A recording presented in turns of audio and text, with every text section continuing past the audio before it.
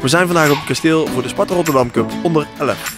Dat onze opleidingspartners met hun onder 11 te gast zijn vandaag. Die spelen een toernooi 8 tegen 8, twee veldjes. Uh, en uiteindelijk maken we er uh, een unieke ervaring van dat de kinderen op het kasteel een toernooi hebben vandaag.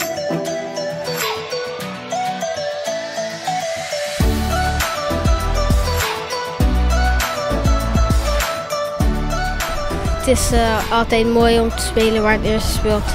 Het grasmat waar ze spelen en dat is altijd mooi.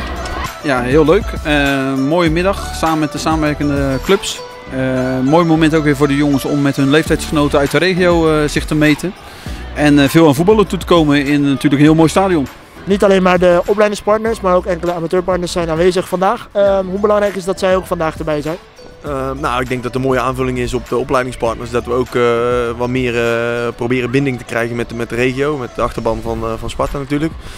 dus en vandaag is VV Schipluiden te gast als amateurpartners. Leuk dat die erbij zijn. Ja, Kelen, speler van Sparta onder 19, maar daarnaast ook ja, trainer bij Excelsior Sluis. en vandaag actief op de Sparta Rotterdam Cup. hoe is dat voor jou? Ja, ik denk heel mooi. Zelf natuurlijk ook Sparta speler. En dan is het uh, eigenlijk heel leuk als je dan hier uh, met je oude club en die kinderen mag zijn waar jij eigenlijk uh, ja, heel de week bent, aanwezig bent. Dat is wel heel mooi. Ook voor die kinderen een leuke ervaring. Voor de kinderen is het gewoon een ervaring die we mee willen geven. En of ze de, winnen niet, uiteindelijk gaan ze als winnaar naar huis. Ze krijgen allemaal een medaille en de winnaars krijgen uiteindelijk nummer 1 krijgt nog een beker. Dus volgens mij is dat hartstikke leuk.